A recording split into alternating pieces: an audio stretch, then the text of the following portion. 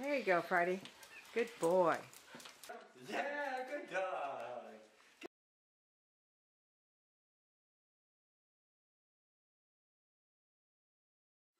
This is Hummingbird Bed and Breakfast in the Applegate Valley in Oregon. And we're going to show you how to build an upside down fire, which is a very clean, burning, efficient way to build a fire. This is our large masonry stove that we build our fire in every day. And Dennis Meiners is my husband and B&B host here at Hummingbird. And he's going to show us how he sets this up.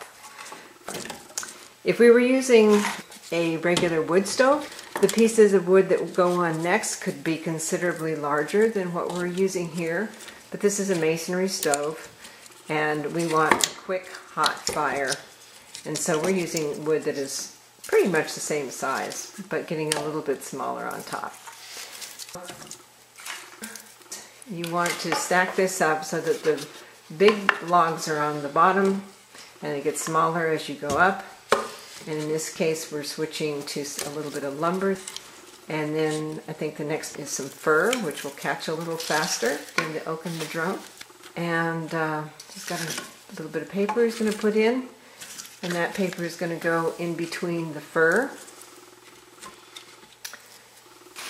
And a little bit more paper. Nestled in between the, the logs there.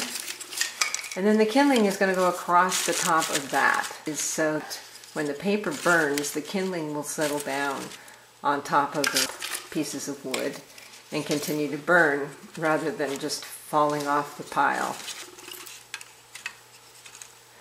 The advantage to this is when this fire is lighted, it will burn down completely from the top to the bottom without any more fussing and with a very clean burn.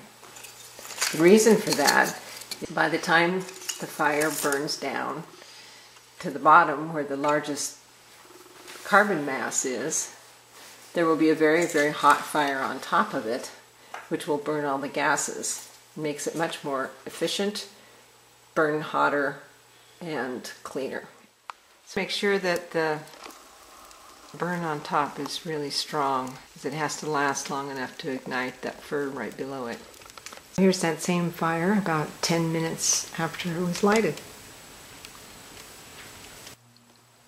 We've moved outside now. This is the straw bale home that Dennis and I share with our bed and breakfast guests.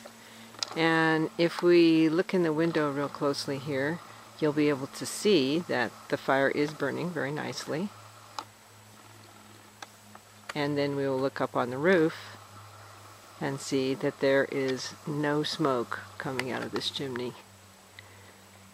We are not adding any pollution to this clear blue winter sky. And that is the real beauty of an upside down fire. It's the same fire a little bit later. It still hasn't been touched or rearranged in any way. If this were a traditional metal wood stove where you wanted a fire to burn longer, you could add more wood at this point and not get much smoke because these coals are so hot that another couple of long would ignite very quickly and burn very cleanly. We hope that you've enjoyed watching this information about how to build an upside down fire. A great deal of the world's population heats and cooks with wood fires. And then there are those of us who just like to have a fire every evening in the winter and build campfires during the summer. And all of that smoke is actually making a greater contribution to pollution than we might think. So we made this video in hopes that you will post it on Facebook, post it on your YouTube channels and Twitter about it, any other way that you can think of to share it, because this is information that is really important. We could actually make a difference in the world if we all built our fires upside down. Thank you so much for watching.